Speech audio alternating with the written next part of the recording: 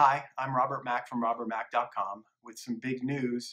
I'm doing a live comedy show right here on the screen that you're looking at. It's called Viral Comedy with Robert Mac because laughter is contagious.